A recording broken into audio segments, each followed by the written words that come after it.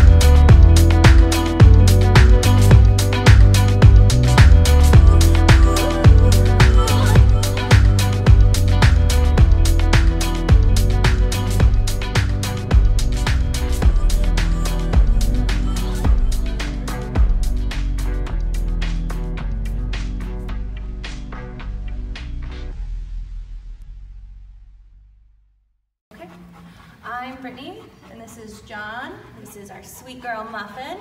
Um, we use bulletproof dog training with Megan and Quinton, and our dog is fully ready to come home with us. She knows all of her commands, um, and we're excited. We're excited to get to do some more adventures and, um, yeah, bring her back when we can.